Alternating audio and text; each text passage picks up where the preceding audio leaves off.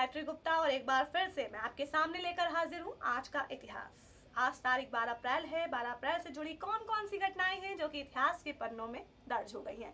अगर बात करूँ तो सोवियत संघ ने पहला इंसान अंतरिक्ष में भेजा। इसके साथ ही अमेरिका में गृह युद्ध की शुरुआत भी आज के दिन ही हुई। इसके साथ ही और भी अहम घटनाएँ हैं जो कि इतिहास में दर्ज है। चलिए दिखाते हैं आपको कौन कौन सी हैं घटनाएँ अपनी इस खास रिपोर्ट में।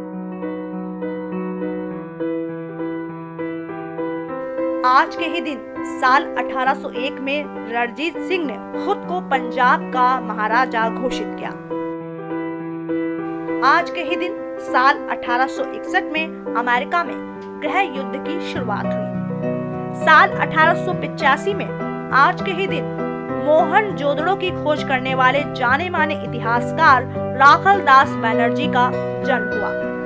आज के ही दिन साल 1927 में ब्रिटिश कैबिनेट ने महिलाओं को वोटिंग अधिकार देने का समर्थन किया। आज के ही दिन, साल 1946 में सीरिया पर फ्रांस का कब्जा समाप्त हुआ।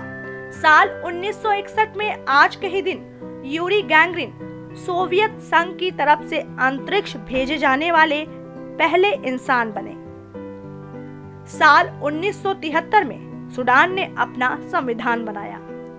आज के ही दिन साल 1975 में अमेरिका ने कंबोडिया में अपनी हार स्वीकारी। कंबोडिया के गृह युद्ध में पाँच साल तक दखल अंदाजी करने के बाद खुद को अमेरिका ने लड़ाई से अलग किया। साल 1981 में आज के ही दिन अंतरिक्ष यान कोलंबिया पहली बार प्रक्षेपित किया गया। आज के ही दिन साल 2006 में साइप्रस के राष्ट्रपति ततोस पापादोलस छह दिनों की यात्रा पर हिंदुस्तान पहुँचे।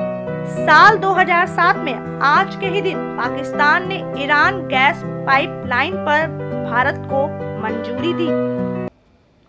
तो जाना आपने कि 12 अप्रैल से जुड़े कौन कौन सी ऐतिहासिक घटनाएँ हैं? कल फिर से मैं आपके सामने लेकर हाजिर होंगी आज का इतिहास, लेकिन तब तक के लिए नमस्कार।